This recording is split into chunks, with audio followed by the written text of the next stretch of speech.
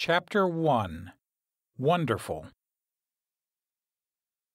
In olden times, all names meant something, and this is still the case among Indians and all other people who are living in a primitive way.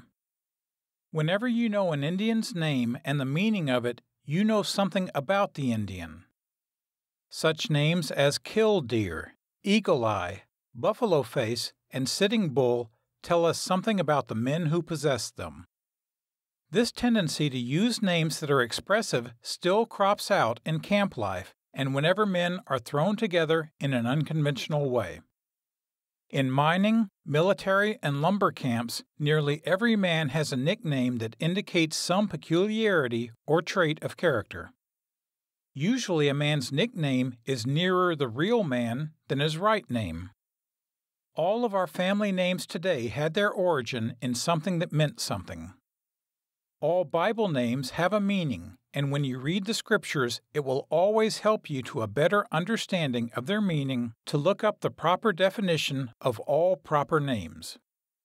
There are 256 names given in the Bible for the Lord Jesus Christ, and I suppose this was because he was infinitely beyond all that any one name could express. Of the many names given to Christ, it is my purpose at this time to briefly consider this one. His name shall be called Wonderful. Let us look into it somewhat and see whether he was true to the name given him in a prophecy 800 years before he was born. Does the name fit him? Is it such a name as he ought to have? Wonderful means something that is transcendently beyond the common, something that is away beyond the ordinary. It means something that is altogether unlike anything else. We say that Yellowstone Park, Niagara Falls, and the Grand Canyon of Colorado are wonderful because there is nothing else like them. When David killed Goliath with a sling, he did a wonderful thing because nobody else ever did anything like it.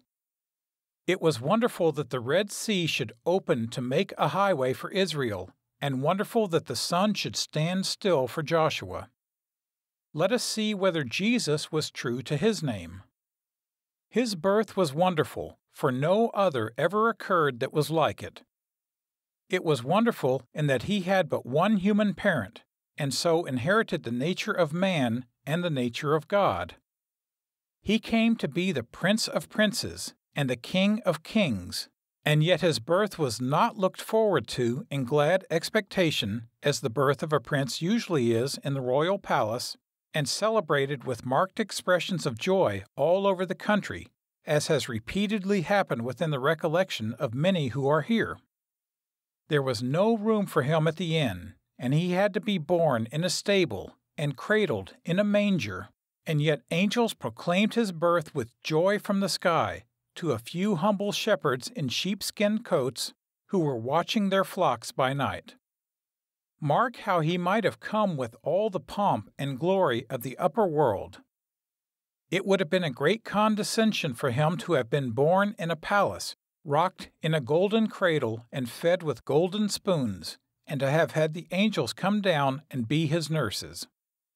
But he gave up all the glory of that world, and was born of a poor woman, and his cradle was a manger. Think what he had come for. He had come to bless and not to curse, to lift up and not to cast down. He had come to seek and to save that which was lost, to give sight to the blind, to open prison doors and set captives free, to reveal the Father's love, to give rest to the weary, to be a blessing to the whole world, and yet there was no room for him. He came to do that, and yet many of you have no room for him in your hearts. His birth was also wonderful in this that the wise men of the East were guided from far across the desert to his birthplace by a star. Nothing like this ever announced the coming of anyone else into this world. As soon as his birth was known, the king of the country sought his life and ordered the slaughter of the innocents at Bethlehem. The babies were the first Christian martyrs.